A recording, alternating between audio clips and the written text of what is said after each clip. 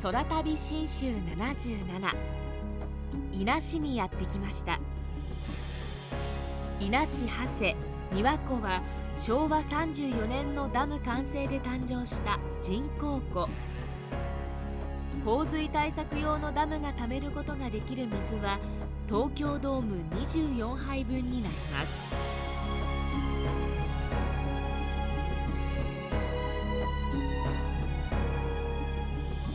江戸時代の神殿開発に伴って建設された六道の包み桜の名所としても有名なため池です。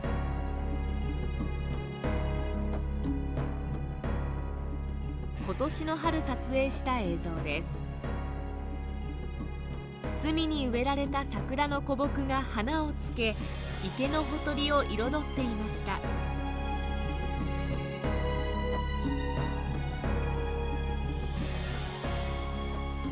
建設から150年。ため池は今も地域の34ヘクタールの農地を潤しています。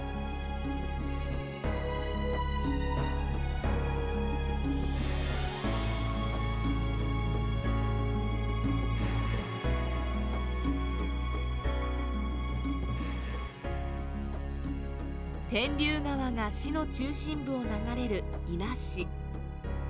人口はおよそ6万8000人。